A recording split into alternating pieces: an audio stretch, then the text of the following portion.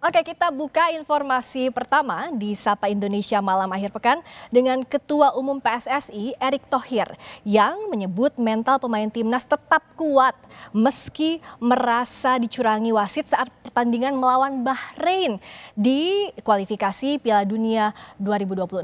Pasti nonton ya, sama saya juga kesel.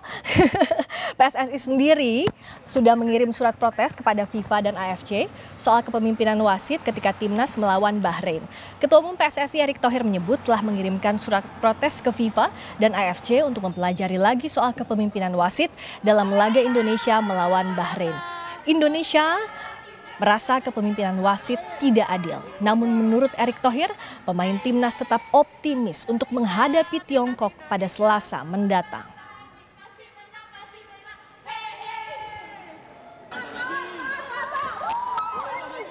Kita tentu dengan kejadian kemarin kita melayangkan surat protes langsung.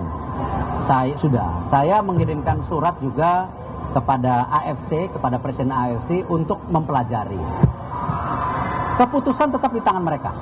Tapi paling tidak kita harus kembali berani menyuarakan ketidakadilan. Itulah sejak awal satu tahun 8 bulan ini kita mendorong bagaimana mental pemain tim nasional kita Kemarin habis tanding mereka tetap optimis langsung berangkat ke China. Sekarang latihan, mudah-mudahan kita bisa rebut poin maksimal. Timnas Indonesia bersiap melawan Tiongkok dalam laga Grup C kualifikasi Piala Dunia Zona Asia Selasa mendatang. Skuad Garuda telah tiba di Qingdao, Tiongkok. Setelah melawan Bahrain, Kamis lalu tim Indonesia melanjutkan upaya ke Piala Dunia dengan bertandang ke Tiongkok. Tim Garuda tiba di Qingdao Jiadong International Airport pada Jumat, sehingga timnas memiliki persiapan tiga hari untuk melawan tuan rumah pada Selasa 15 Oktober nanti.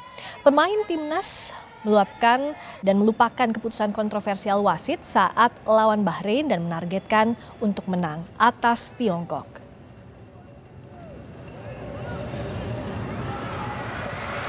Lalu bagaimana persiapan timnas melawan Tiongkok? Kita akan berbincang dan menanyakan langsung kepada jurnalis Kompas TV Malaika Kridaman. Malaika, kalau kita lihat laga lawan Bahrain tentu ya kecewa lah, mangkel gitu ya karena akhirnya dua-dua setelah harusnya kita menang 2-1. Nah melawan Tiongkok, apa yang disiapkan oleh Shin Taeyong? Sudahkah move on untuk mempersiapkan laga melawan Tiongkok?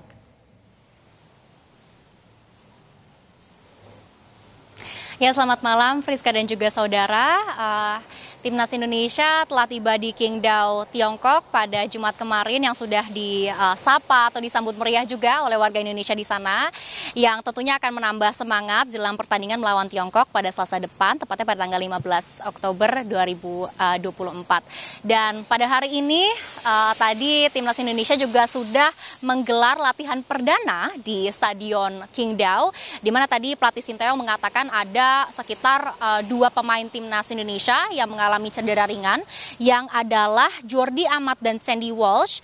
Namun memang uh, pelatih Sinteyong mengatakan jangan khawatir karena mereka akan segera pulih karena melihat uh, cederanya juga cukup ringan dan tidak terlalu berat. Dan untuk uh, jelang pertandingan melawan Tiongkok ini tentunya target timnas Indonesia adalah untuk menang di mana uh, timnas Indonesia menargetkan bisa membawa pulang tiga poin dari Tiongkok yang tentunya ini tidak akan mudah karena memang uh, timnas Tiongkok saat ini menjadi posisi uh, juru kunci karena sebelumnya sudah selalu kalah di tiga pertandingan sebelumnya. Namun memang kita tidak bisa menganggap remeh karena jika kita melihat uh, kemarin-kemarin yang berhasil uh, memenangkan pertandingan melawan timnas Tiongkok adalah tim-tim favorit grup termasuk Jepang, Australia dan juga Arab Saudi.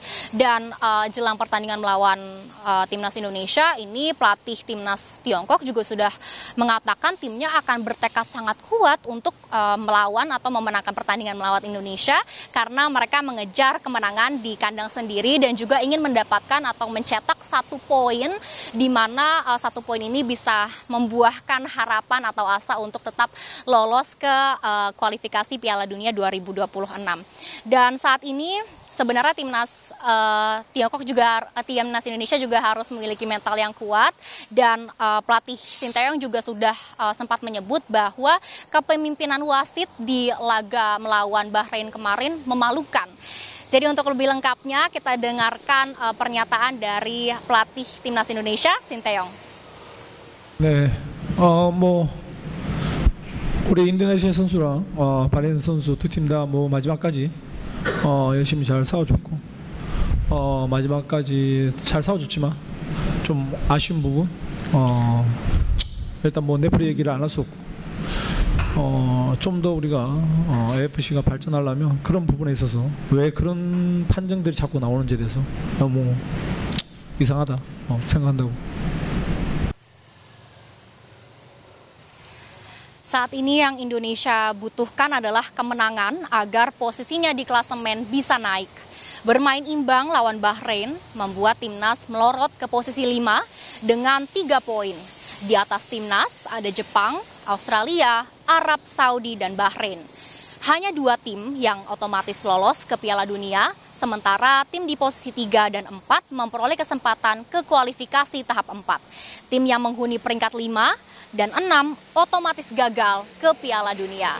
Maka dari itu kita harus memberikan support atau dukungan yang terbesar dan juga kita doakan yang terbaik untuk timnas Indonesia atau pasukan Garuda agar bisa memenangkan pertandingan melawan uh, timnas Tiongkok dan juga bisa lolos ke kualifikasi Piala Dunia 2026. Kembali ke studio. Terima kasih Malaika Kridaman. Kita doakan timnas Indonesia bisa menjaga asa dengan menang melawan Tiongkok. Terima kasih laporan Anda.